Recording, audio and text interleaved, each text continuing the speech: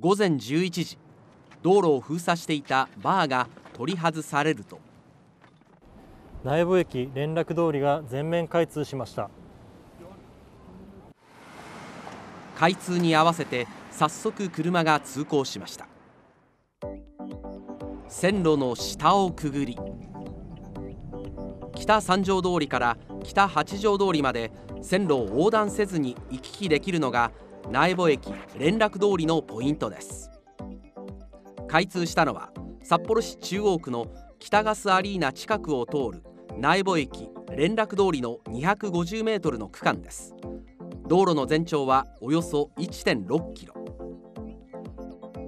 JR 苗穂駅周辺は札幌市などが2013年からまちづくり事業として開発工事を進め街並みも大きく変わりました。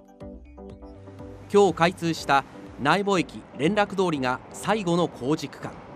車だけではなく歩道を歩く人も見られました。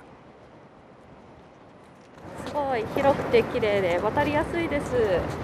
開かずの踏切と言われた例のあの踏切ですね。そこ通らなくなるので時間の心配をしなくて済むのがやっぱり一番大きいですね。一方で連絡通りの開通をもって廃止されるのが東9丁目踏切です。この踏切は札幌市の調査によりますと1時間あたりの遮断時間は平均で37分にもなりいわゆる開かずの踏切として危険性が指摘されていました。